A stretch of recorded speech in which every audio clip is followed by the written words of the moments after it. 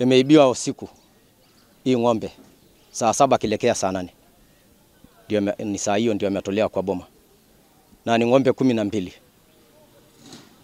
Uh, akajua masaa asubuhi saa kumi na mbili ng'ombe imeibiwa, akaasa akifuata, akapika masimu kipikia wajirani, wajirani akatoka akaasa akifuata.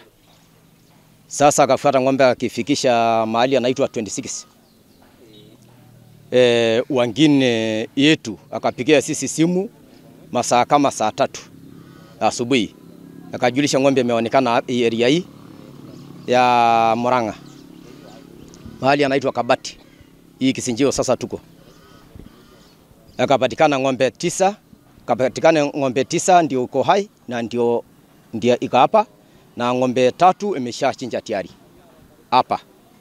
Sasa sisi kaza safari kapitia kule Ruai police station, akaripoti hapo, akakuja nao mpaka hapa sasa. Sasa ng'ombe ndio hii na na sio mara ya kwanza kule kwetu. Hiyo area kama e, mali hapo ya hiyo area imeisha. Mbeleni ilikuwa imeasa na mbuzi na iko saidi mwaka tatu saa kuibiwa hapo tu kwa hiyo area.